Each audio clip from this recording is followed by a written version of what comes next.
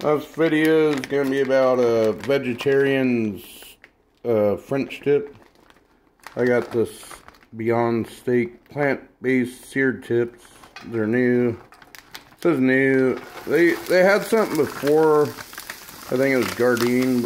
Walmart used to carry it, but they stopped stocking it. I just got the pan lightly oiled. I got three cups of water for the au juice gravy from McCormick. It says right here. Total cook time, five minutes. Just has to boil the water. Needs to boil uh, three cups cold water, one pack of this mix. And uh, just uh, heat till it comes to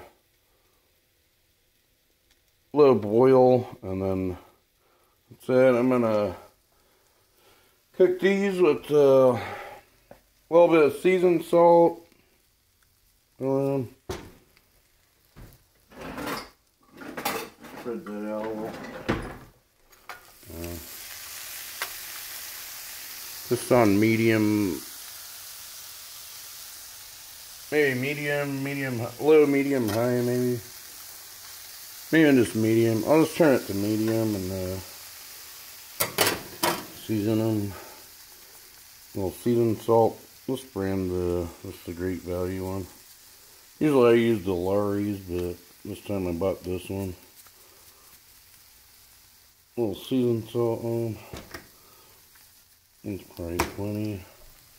I got this uh, Montreal steak seasoning. It really helps add some flavor to this. And the au juice sauce, of course.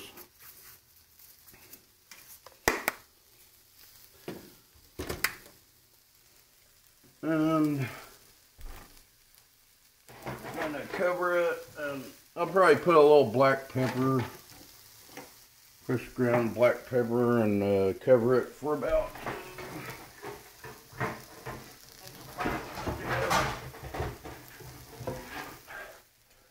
cover it. I'm gonna put a little fresh black pepper and I got a just a French bread loaf from Walmart.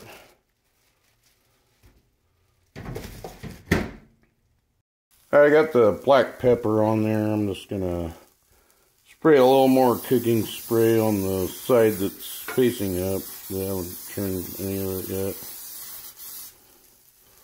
Gonna maybe like uh, maybe like five minutes on medium each side, and then cut the French bread in half. I guess I could start the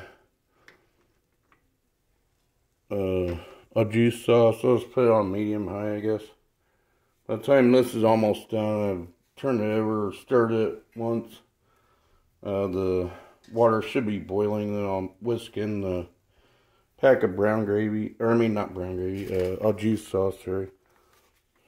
Uh, I got this Beyond Steaks plant-based tips at uh, Sprouts grocery store.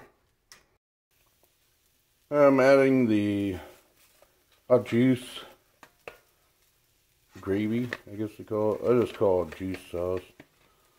The hot water, I got this seasoned again. I'm going to put on low. I think it's cooked enough. I re-season it with some more seasoned salt, Montreal steak seasoning. And I've sliced my bread here.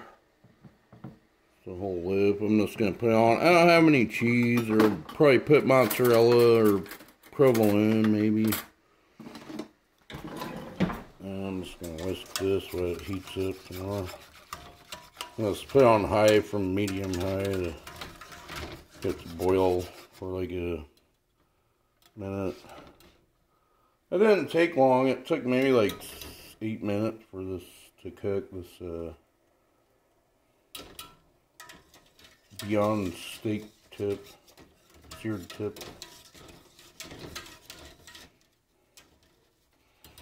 And about got this ready. Just needs to bubble a little bit and then that's it. It's ready.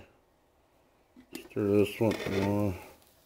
That helps to add a little more seasoning and that. I just put a, like a tablespoon or two, maybe three at the most Just a little puddle of vegetable oil and heat it before I put the seared steak tips or vegetarian in. Called?